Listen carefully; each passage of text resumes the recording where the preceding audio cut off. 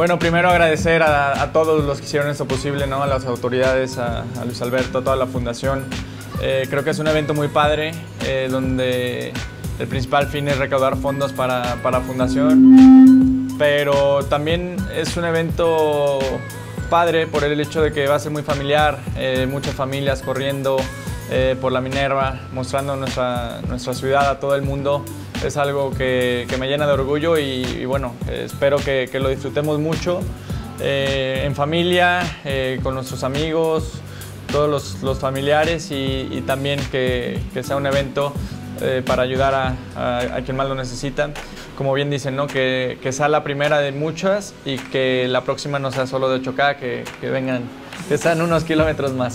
Porque como saben, los 8 kilómetros son relacionados a, mis podiums en Fórmula 1 eh, y, bueno, el objetivo va a ser que, sea todo un éxito y que sigamos haciendo muchos años más esta carrera.